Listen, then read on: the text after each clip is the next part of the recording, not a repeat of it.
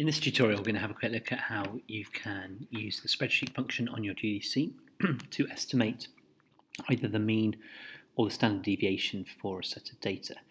Um, in this case, we're going to be doing an estimation of the mean because we can see that each of our lengths, each of our data in this particular question is in uh, bands. So we have to estimate that all of this, all of these bits of data, all 30 pieces of this data are at the five centimeter length halfway in between. So we take the midpoints, put all those into the calculator, and then all the frequencies as well. And it's a good idea to write down what those midpoints were on your um, uh, on your test, on your exam paper, so that the examiners can see that you've calculated that correctly and that you recognise that midpoints were necessary.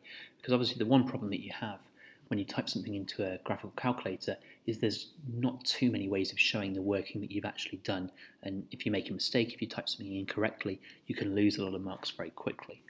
Um, so I've typed all those in already onto the spreadsheet, and you can see I've given headings of length and frequency to each of those columns. I'm now going to go on to menu, statistics, stat calculations, and this is one variable statistics because only one thing is being measured here, the length. Sure, there's two columns, there's frequency as well, but frequency isn't something that's being measured. It's just the length that's being measured. So one variable statistics. What we're then going to do is tell it that the x1 list, so the, the thing that was actually being measured, was the length. The frequency list, we're going to change here because we want it to know that the frequency column is where to look for the frequencies. The results can go in column C, that's okay because that's not overwriting any of my data. So I can click OK and we can see that it's given me all the statistics I need there. So this symbol here, x bar, denotes the mean, so the mean is 29.8. You won't need any of these ones here. Next one of interest is this one here, sigma x, that denotes standard deviation. Okay, so for the standard level course, this is the one we use. We don't ever use this one up here, always this one down here. So that's going to be 19.8. N, the number of bits of data, is 200. That's quite a good check to do, to have a look at the value of n and ensure that it does come to the total frequency, the total number of pieces of data.